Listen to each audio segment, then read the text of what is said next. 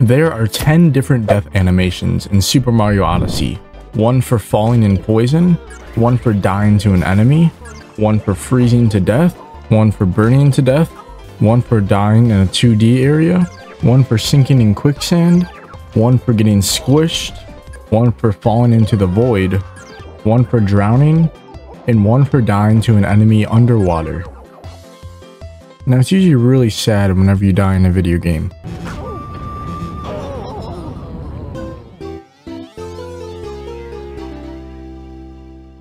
But in this official speedrun category, the whole entire point is to die.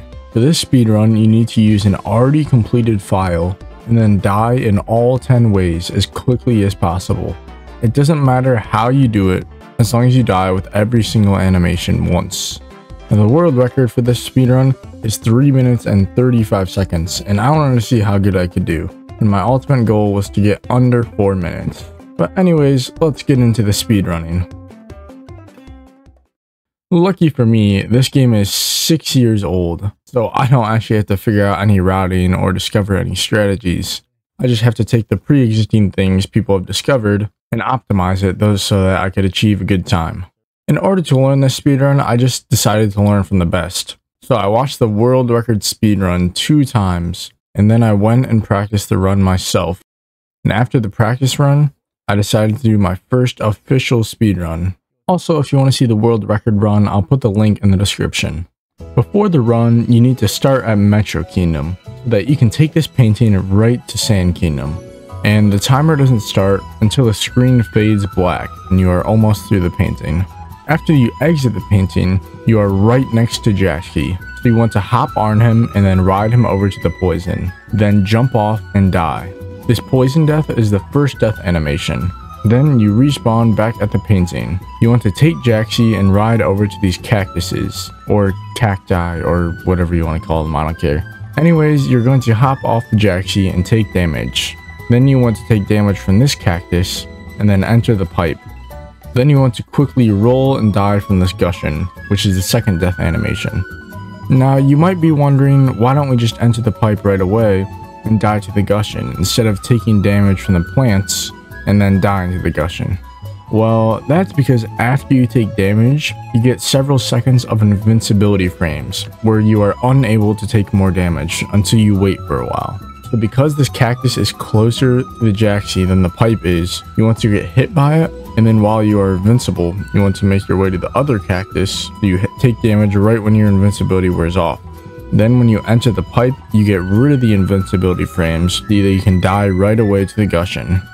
After the Gushen death, you want to get hit twice by the Gushen and then stand in the water until you freeze. By standing still in freezing water, you eventually freeze to death, and that's the third death animation.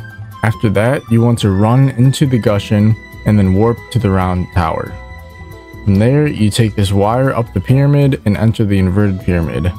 When you enter, you immediately take damage from another cactus and then use the invincibility frames to get over to this torch and then burn to death. After that, you get hit by this cactus yet again, and then warp back to the round tower.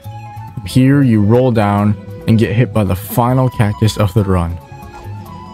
Then you enter this 2D pipe that's conveniently placed here, and you can get your fifth death animation. Moving onward, you want to roll off the edge and then just let go of your controller and watch Mario sink to a slow and tragic death. Now, if you're a Mario speedrunner like me, you want things to be fast. And today's partner, Mint Mobile, will help with that. You might already know about Mint Mobile if you've seen those ads from Ryan Reynolds, but let me tell you about their awesome services. Mint Mobile offers premium wireless data for as low as $15 a month. They're built on the nation's largest 5G network and they keep costs low because they sell direct to you online so you don't have to go to salespeople or stores. All the Mint mobile plans include unlimited nationwide talk and text, plus lightning fast 5G and free mobile hotspot. And now, for just a special time offer, you can get their unlimited plan, which is normally $30 a month, for just $15 a month. I personally have switched over to the Mint Mobile, and let me just say, it's way better. It's way cheaper than all the wireless services, and you don't even notice the difference. It's just as great. And make sure you guys use the link in my description to get started. But after that, you get to spin pound and try to land directly in this giant hole, which is actually a lot harder to do than you might think. Then you make your way across the ice so you can get squashed by this giant pillar. After that though, Mario apparently has not had enough and he decides to put himself through more pain and just roll off the edge. Really don't know why you do that, Mario. Anyways, we then warp to floating island and take the painting to Lake Kingdom, the only other kingdom in this run. And in Lake Kingdom, we can get the final two death animations. We exit the painting and immediately make our way to the water. Then we head this way and take damage twice, and then we wait until we die by drowning. After that, we dive into this fish and then wait for him to kill us, and that's time. And for this first run, I actually achieved my goal. I got a 4 minute and 44 second time. Now this run was actually still really bad and I knew I could do much better. For example, here I actually got hit by the Gushen and died rather than freezing to death. So I had to wait and respawn and then die by freezing. And that alone probably wasted like 20 seconds. Then I also didn't do the best movement here and I had to wait for another cycle to get squashed by this thing. Also, my movement all around was absolutely terrible, but this did mean that there'd be lots of time save in the next run. Now, time for a really sad realization. There are actually more people that have done this speedrun than I have followers over on Twitch. So please be sure to check out my Twitch channel if you want to see me learn how to do all these different speedruns. So after that last run, I decided to watch the world record again and start up another run. But right before I started the run, someone in my chat told me I should get rid of all my coins before I start, which was actually genius. Because when you have coins and you die, there is a small animation that plays and loses a teeny bit of time. And because we die 10 times, the time loss definitely adds up. After I got rid of all my coins, I started another run. It was going well until I reached the Gushen area, and that's when I realized I had collected some coins somewhere. After the run, I checked back and realized that I had collected them from this bush, so I made sure to avoid that next time.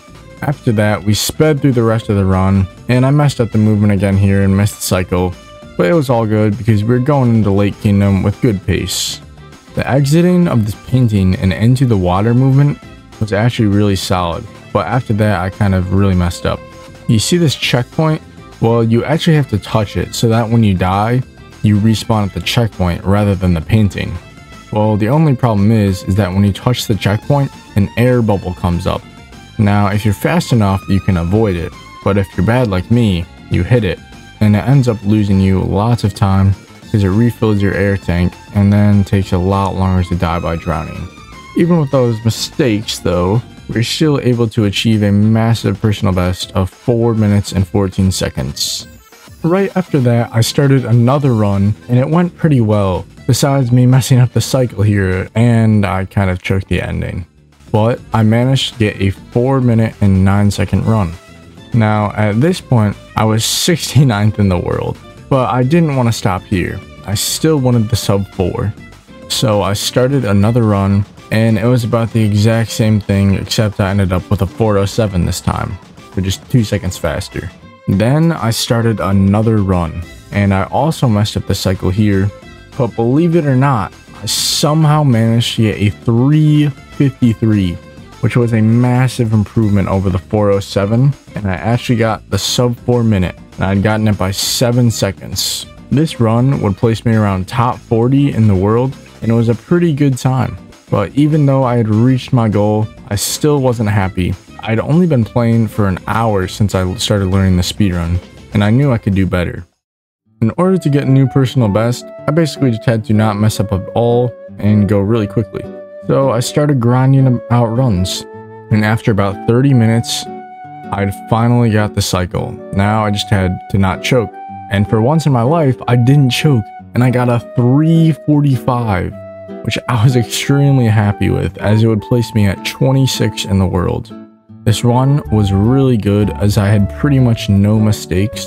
For some reason, I still thought I could do a little better. So the grind began. I completed run after run, but none of them were a personal best. I had gotten two 347s, three 346s, and three 345s, my run was already very good, so it would be really difficult to save time. The only time save there was was pretty much just time save from like really tiny things, things like taking straighter lines and having faster spin pounds. And for that reason, I just could not seem to get a personal best. But I kept at it. I never backed down and I never gave up. And finally, after an hour and a half, I got this run.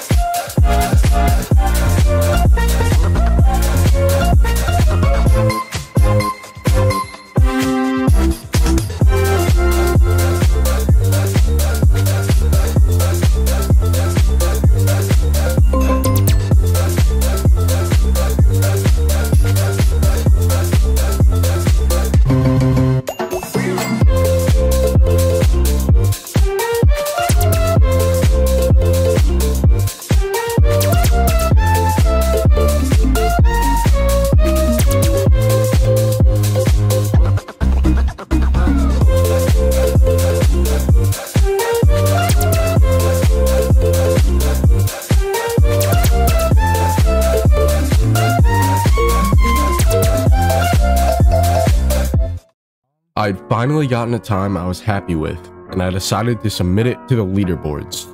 They retimed it, and it turns out it was actually a 342 instead of a 343. That placed me at 20th in the world. I was very content with this run as I had no mistakes and I felt that my movement was very fast.